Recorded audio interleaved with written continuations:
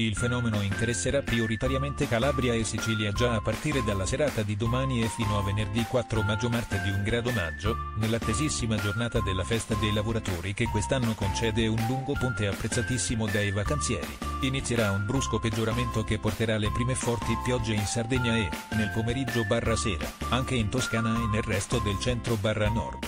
Sarà comunque un primo maggio di bel tempo su gran parte della alla 500 Italia e in modo particolare al centro barra sud il forte maltempo arriverà nei giorni immediatamente successivi, tra mercoledì 2, giovedì 3 e venerdì 4 maggio.